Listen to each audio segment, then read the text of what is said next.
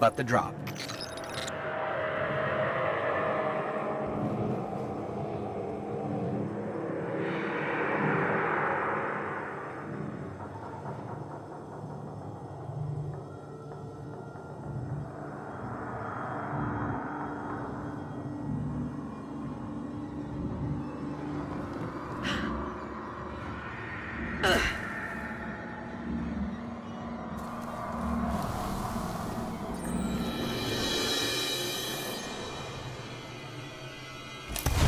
Alak-Hul is near.